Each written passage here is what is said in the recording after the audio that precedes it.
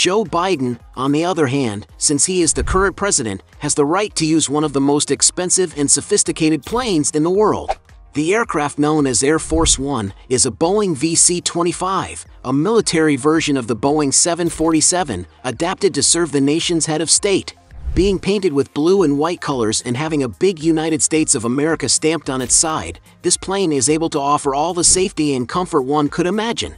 Inside, the president and his traveling companions enjoy 4,000 square feet of space on three levels, featuring a spacious president's suite, which is outfitted with a large office. The plane is also capable of refueling mid-air, which basically grants it unlimited range so it can transport the president wherever he needs to travel. And of course, in order to enjoy all of this, there is a high cost to the state coffers.